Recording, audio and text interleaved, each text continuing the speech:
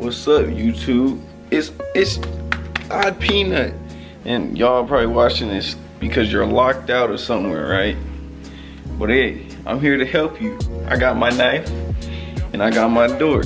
I know I made this video before, but people had many questions that I will be answering in this one. This is an updated version on how to unlock a door with a butter knife. Super easy, all right? So let's say you're locked out, right? But you have access to a butter knife. Now one question I got was, does this work on the front door? No, it doesn't work on the front door because the front door doesn't have this this is what you need on the door. I mean, the front door has it, but it's too strong, you feel me? It needs to have this little push thing and an easy to slide in slot. Let me focus it. You know? Because what you're doing really is you're sliding it through the slot and hitting that little push thing. And when you push it open, it pops the door open like this, you know? This is basically what's happening. So if you can somehow get that with the front door, then you're a genius. But you got two locks on the door, so I don't think that'll work. And somebody asked if this will work on a car door. No, it won't work on a car door. And another question I had was, is it gonna break the door?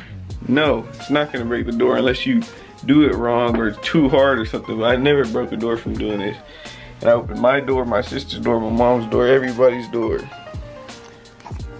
And so basically, all you do, slide it in there, try to make it even so that way you can hit that little push thing that I was showing you guys.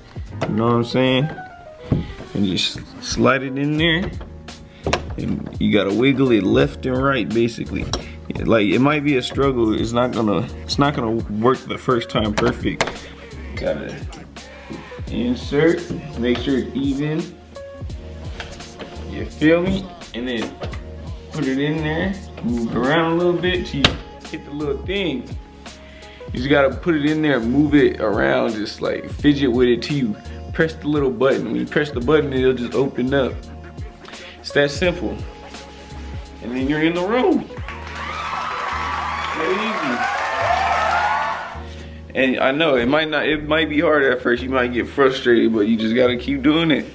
If you wanna get in that room, keep moving left and right, up and down till you hit the thing. You're gonna push it and the door's just gonna pop open. It's that simple. Thank you for watching.